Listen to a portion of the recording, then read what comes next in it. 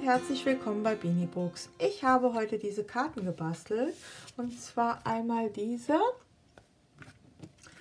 und einmal diese. Gebastelt habe ich das wieder rein nur aus Action-Sachen. Dazu benutzt habe ich diese Karten 15 x 15. Dieses Designpapier und dieses und diese zwei Sticker-Alben.